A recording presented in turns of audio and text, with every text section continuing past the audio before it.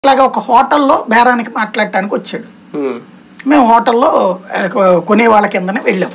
ఒక task force CI SI నామోహం అయితే గుర్తుపడతారనేసి CI గారు ఎస్ఐ గారు కూడా కలిసి జాయింట్ ఆపరేషన్ చేసాం ఆ డాక్యుమెంట్లు తీసుకున్నాక ఎవడరా నీకు ఇచ్చింది అన్నది లెక్క తీస్తే సాయంత్రం లోపు తేలింది ఏంటంటే ఈ డాక్యుమెంట్లు మనకి కర్ణముల వ్యవస్థ ఉంది కదా.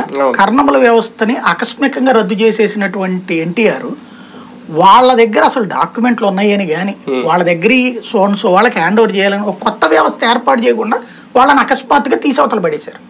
రోడ్ల మీదకి. వాళ్ళు ఏం చేశారు? అసలు కర్ణములకే తెలుసు. వాళ్ళకి మెదళ్ళలోనే లెక్క ఉండేది అప్పుడు. ఇదిగో ఇది ఇంత ఇది ఇంత ఇది ఇంత అనేటువంటి ఆ లెక్కలన్నీ కూడా అడంగల్ బుక్స్ ఉంటాయి. అడంగల్ బుక్ అంటే మన ముత్తాతల కాలంలో ఉన్నప్పుడు అంటే మనం ఇప్పుడు ఒక ఇంట్లో ఉన్నాం అనుకోండి. దానికి అంతకుముందు ఎవరిది? అంతకుముందు అంటే గజాల లెక్కన ఎట్లా కొన్నారు? ఉమ్, కుంటల లెక్కన కొన్నారు? కుంటలకు ముందు ఎకరాల లెక్కన ఎట్లా కొన్నారు? హెక్టార్ల లెక్కన కొన్నారు? ఈ మొత్తం ఉంటుంది ఒక డెబ్బై ఏళ్ళ చరిత్ర ఉంటుంది వందేళ్ళ చరిత్రలు కూడా ఉంటాయి అడంగల్స్లో ఆ బుక్స్ అన్నిటి కూడా వీళ్ళు ఎత్తుకుపోయారు కారణం ఉమ్, ఎందుకని? గవర్నమెంట్కి తెలియవు ఇవి- ఇవన్నీ. అందులో ఏది పోరంబోకు ఏది ఇదని. మీకు వచ్చే రాష్ట్రంలో వివాదాలన్నీ అయ్యే. మనం అంటాం పొలిటీషియన్ అది తినేసాడు కబ్జా చేశాడు అది ఇది అంటామే.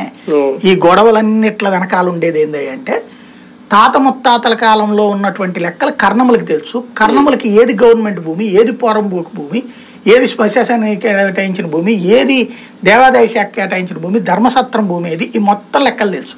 ఉమ్, వాళ్ళు తర్వాత కాలంలో కొందరితో కుమ్మక్కయ్యి అవి వాళ్ళు ఆక్యుపై చేసుకునేందుకు పాత డేట్ల మీదన ఇచ్చారు.